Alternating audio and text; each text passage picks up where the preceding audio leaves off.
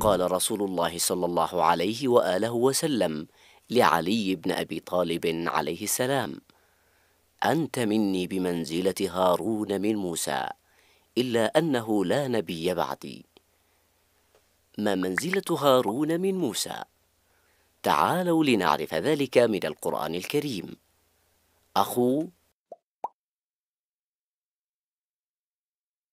ووزير وخليفة ونبي.